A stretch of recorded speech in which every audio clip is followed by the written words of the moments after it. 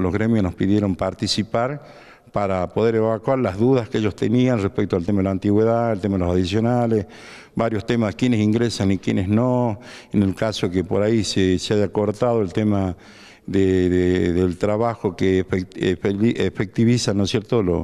los, empleados, que se cortan por ciertas circunstancias, o sea, temas particulares. Así que se quedó de acuerdo a avanzar en una comisión que se va a reunir el día viernes, en el Ministerio de Hacienda, nos van a mandar la nota. El Ejecutivo planteó el tema de avanzar en el reconocimiento eh, en esta circunstancia de este, equiparar la, inflación vigente al salario que viene cobrando del año 2019,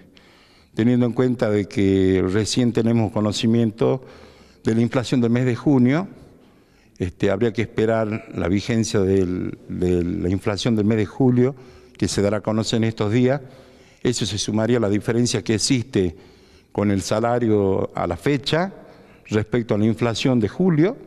Y bueno, y ahí saldrá un número, un porcentaje que se aplicaría, que sería el aumento. La reunión por el tema del aumento salarial va a ser el día posterior al anuncio del INDEC nacional respecto al índice inflacionario del mes de julio. ¿Y con la situación de los docentes también hay otra reunión?